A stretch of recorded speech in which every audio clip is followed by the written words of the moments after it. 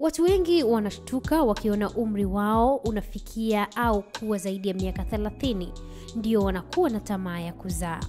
Kuchelewa kwao kuzaa kunaweza kuwa na taabu ama kuzaa watoto wenye matatizo mengi ya kiafya.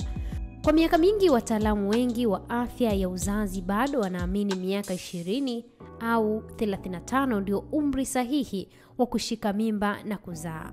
Lakini idadi ya kinamama wanaojifungua wakiwa na umri mkubwa imeongezeka huku viwango vya uwezo wa kupata ujauzito kwa wanawake wenye umri wa zaidi ya miaka 40 vikiongezeka maradufu. Huko India, mwanamke mwenye umri wa miaka 73 katika jimbo la kusini mwa India la andra Pradesh amejifungua watoto wanawake wawili mapacha.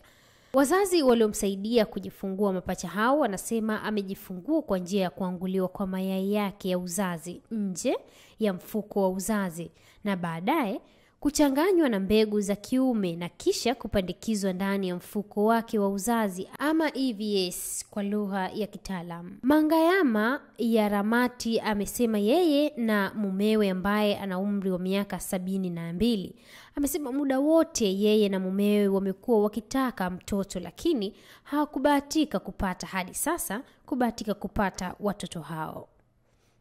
Mume wa Sitarama Rajarao amesema kuwa mkewe alipata ujauzito katika kipindi cha miezi miwili tu baada ya kufanyiwa matibabu ya EVF.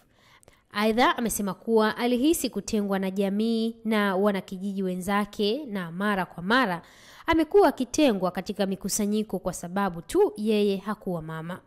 Hii ni siku ambayo watoto wake mapacha walipozaliwa, Bwana Rajarao alipata kiharusi. Kwa sasa anapokea matibabu hospitalini.